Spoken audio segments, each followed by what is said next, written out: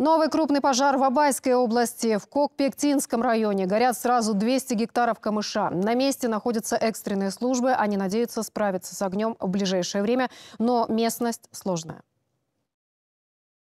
Жертв и пострадавших нет. А Угрозы населенных, населенным пунктам нет. А, По прибытию на место пожара установлено, что горение камыша происходит на, в границах акватории э, водохранилища.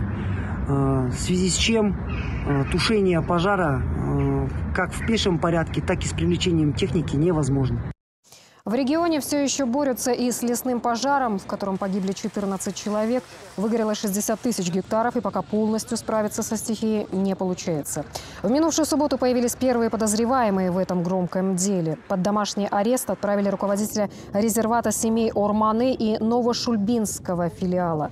О ком именно идет речь, не уточняется. Но, как сообщили в прокуратуре, там учитывали возраст и состояние здоровья подозреваемых. А обвиняют их в нарушении требований пожарной безопасности, повлекшим по неосторожности смерть двух и более лиц. Причину пожара при этом тоже еще устанавливают. Звучали версии, что во всем виноват грозовой разряд или кто-то специально поджег лес.